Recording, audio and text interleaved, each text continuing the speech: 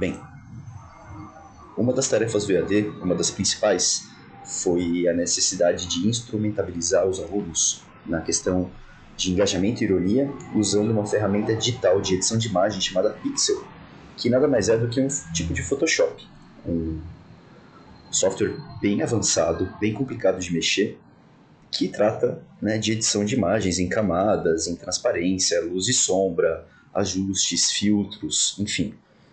É, a gente tomou por base as obras de um artista chamado Alexei Kondakov, é, que em suas obras ele insere personagens de pinturas clássicas em cenários contemporâneos.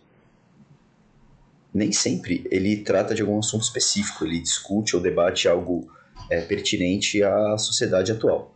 Porém, a questão técnica né, das edições de imagem dele são muito avançadas, muito sofisticadas, e elas serviram de base estética para os alunos. É, por outro lado, a gente também usou o Banksy, que é um artista britânico misterioso, que ninguém sabe quem é, é na questão de engajamento. Então, o Banksy ele trabalha sempre obras que debatem assuntos polêmicos e interessantes para a sociedade, né, como ícones né, norte-americanos em relação a guerras ou a, sobre intolerância religiosa, os muros da Palestina, Israel, o próprio mercado de arte, corrupção, guerra, enfim. É, os alunos se concentraram nas pesquisas de iniciação científica do Fundo de 2, de projetos do nono ano e nas 17 ODS da Unesco né, no ensino médio. É, e partindo desses dois artistas, eles fizeram as próprias montagens. Eu vou mostrar então aqui a atividade, onde eles tinham muitas referências né, para acompanhar, inclusive uma pasta com 40 mil imagens de arte, de obras clássicas, para eles é, acharem né, as obras que melhor encaixariam com as suas próprias ideias, para começar a edição. A gente fez vários exercícios em sala de aula e de forma né, invertida, para que na proposta final eles já tivessem um repertório suficientemente bom. E Além disso, a gente trabalhou com é, dois vídeos tutoriais de forma que eles dessem conta, né, nos critérios da rubrica, é, a questão da autonomia. Vou aqui analisar então o trabalho de um aluno da segunda série do ensino médio. Esse trabalho é o trabalho da Marina Bertola. Marina Bertola decidiu é, trabalhar o tema de abandono então a ideia dela era substituir a Pietà de Michelangelo por uma imagem de uma mãe com seu filho morto no colo. Então ela selecionou as fotos que ela ia usar, todas elas em boa qualidade, né? A gente aprendeu a fazer isso em aula.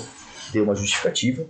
A Pietà é obra onde Virgem Maria segura Jesus em seu colo e aparentemente ele está morto. Minha ideia foi substituir essa imagem de Virgem Maria e Jesus por uma cena que mostra uma mãe segurando seu filho morto no colo. Pietà significa piedade e essa imagem da mãe acaba sendo uma boa demonstração disso. E a montagem, como o próprio significado do nome diz, tem como objeto demonstrar o sentimento de piedade com a morte do filho. A imagem de a mãe está com seu próprio filho morto em seu colo demonstra a dramaticidade que Michelangelo representou em sua escultura.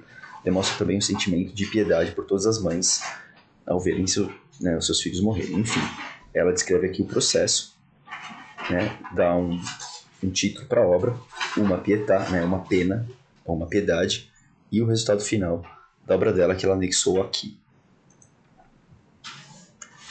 É, outro trabalho interessante de analisar é um trabalho do sexto ano, se não me engano, sexto ano C, vamos ver. Trabalho do aluno Bruno Valente. O tema de pesquisa de C do Bruno é desmatamento. Então ele também escreve a sua ideia aqui nesse roteiro né, de processo, coloca as imagens que ele usou e depois o trabalho final junto com a sua justificativa. Esse é o trabalho do Bruno. Ele pega uma pintura clássica de um lenhador e insere ela numa fotografia atual, onde tem uma árvore né, que foi cortada.